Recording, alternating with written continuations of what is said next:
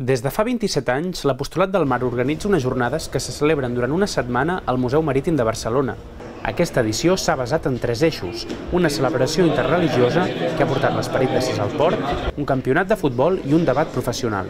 Enguany eh, parlem dels eh, tripulants dels vaixells de creuer, perquè dins dels vaixells són un grup molt específic. Les circumstàncies, tant de vida com de treball, en un vaixell de creuer són molt diferents de qualsevol altre vaixell de càrrega. Per abordar aquest tema, la taula rodona va comptar amb tertulians de diferents sectors que van aportar la seva visió per dibuixar un quadre complet de la situació actual i sempre tenint com a prioritat màxima les necessitats dels tripulants. Hemos desarrollado, bueno, yo que, que me dedico a los recursos humanos, os puedo comentar que hace ocho años eh, no existía la figura de recursos humanos como tal a bordo. No había o sea, eh, una figura que realmente se preocupara de las necesidades realmente de, de la tripulación. Eh, el feedback que hemos recibido de la tripulación a, eh, ahora eh, con respecto a esta posición pues es bastante positivo. L'acte també va tenir la visió espiritual, la del capellà, que va fer una exposició molt humana i molt propera de la situació.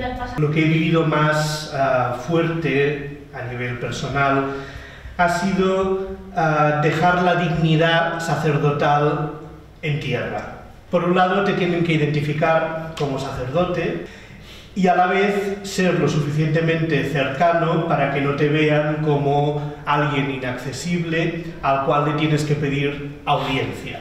Però quines necessitats tenen els treballadors quan arriben al port? Necessitat d'estar informats, necessitat d'oci i sobretot una de molt més important.